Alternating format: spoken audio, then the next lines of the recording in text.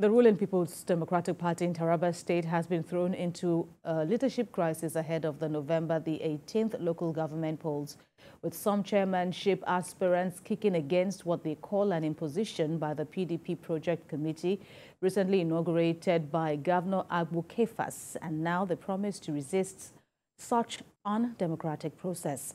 Olabi Adenusi has the report. Fresh crisis may be brewing the ruling PDP in Taraba State ahead of the forthcoming local government election. Some aspirants of the party who had earlier indicated interest for the contest are protesting the alleged announcement of consensus candidate by the special committee put in place by the governor.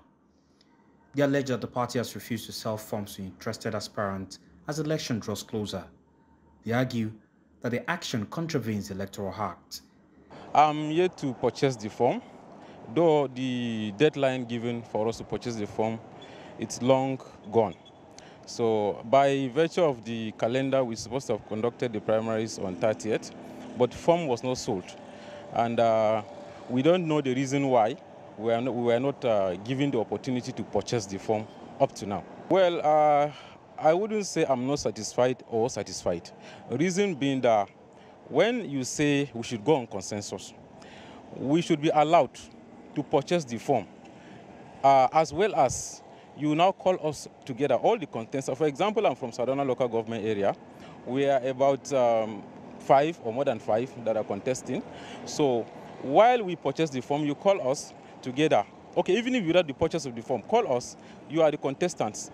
What uh, we want you to agree on one candidate. We will not sit down, but nothing has been done. The aggrieved aspirants are calling on Governor Agbu Kefas to wade in so that the party will not go into the polls divided. And uh, at, even at the stakeholders meeting, there was chaos.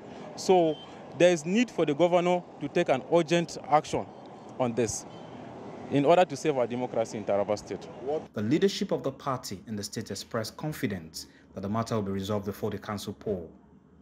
Addressing journalists in Jalingo, the publicity secretary assured the aggrieved members their grievances will be looked into. He explains that the election forms are yet to be sold out because the party is working to ensure the best candidate emerge for the polls. And to the best of my knowledge and assessment, the Special Project Committee is working hard. The assignment is on course. If there are rancor, it is a normal thing. 17 political parties will be participating in the local government election in Taraba State.